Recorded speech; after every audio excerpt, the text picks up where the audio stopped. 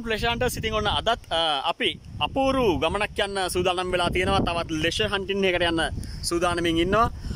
අද අපේ නවාතැන් තමයි අද අපේ ඉලක්කේ තමයි සූර්ය කන්ද බොහොම අපූරු ආරණ්‍යයක් සහ කන්ද මුද්‍රක් තියෙන්නේ. රත්නපුර මායිමේ සිංහරාජන මායිම තමයි මේ අපේ අද නවාතැන තියෙන අපේ අද ගමනාන්තය තියෙන්නේ. ඉතින් ගිහින් බලමු මේ ලෙෂ හන්ටර්ස්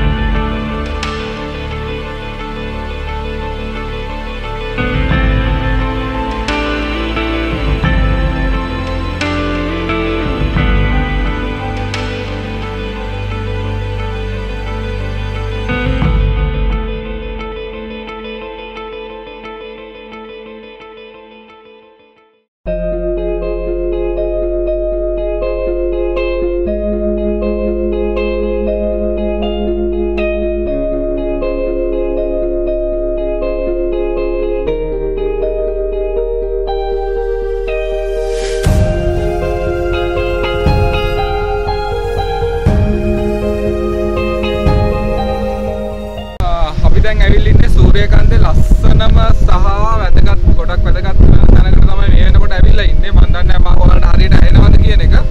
මොකද ලොකු උලඟක් මේ වෙලාවේ මෙතන තියෙනවා. මේක මේක සාමාන්‍ය දෙයක්. හැමදාකම මේ වගේ මෙතන උලඟ තියෙනවා. අපි මේ ඉන්නේ පුංචි ලෝකාන්තය කියන්නේ සූර්යකාන්ත පුංචි ලෝකාන්තය කියන ස්ථානේ. මේකට එන්න ඕන සූර්යකාන්ත ආරණ්‍ය හරහා තමයි මෙතෙන් එන්න තියෙන්නේ. මෙතන තියෙන විශේෂත්වය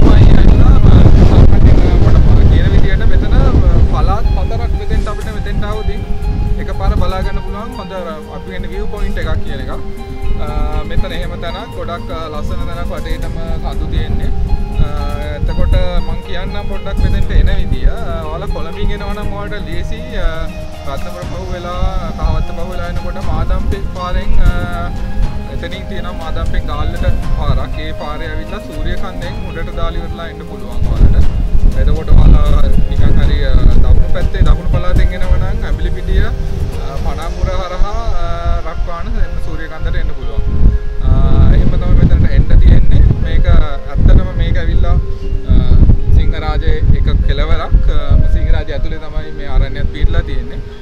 මේක ඇත්තටම අර ශුෂ්ක කලාපේ ඉඳලා පැයක් වගේ කාලයක් ඇතුළත නූරෙලිය සහ බඩ්ඩුල්ල බණ්ඩාරවල තියෙන ඊට සමානම දේශගුණික කලාපයකට තාමත් ඉක්මනින් ළඟා කරගෙන ළඟා වෙන්න පුළුවන් තැනක්. ඉතින් ඔයාලා විශේෂයෙන් හම්බන්තොට එතකොට උඩවලව ඒ ආවට කෙනෙක් නම් ඔයාලට මෙතෙන්ට පැයක කාලෙකින් මෙතෙන්ට එන්න පුළුවන්. ඇවිල්ලා නූරෙලිය වගේ සීතල පැත්තක තියෙන